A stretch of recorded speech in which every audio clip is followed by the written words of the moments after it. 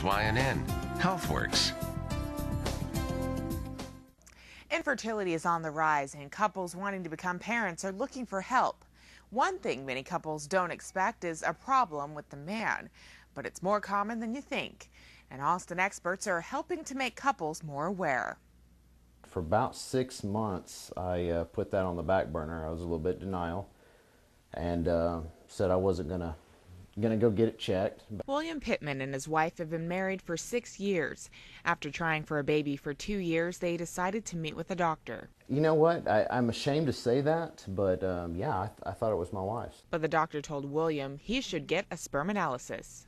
And when I did, it came out zero.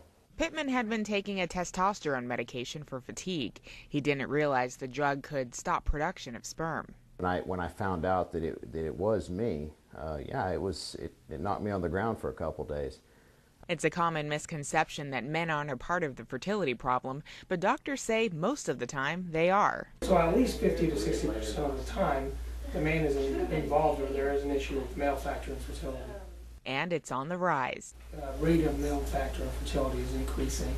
We think that's probably due to exposures, um, whether it's something in our environment or a chemical that's exposing something that we have around us regularly. There's a lot of uh, research and studies going into that.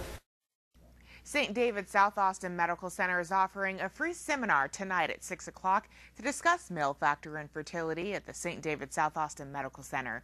For more information, visit ynn.com.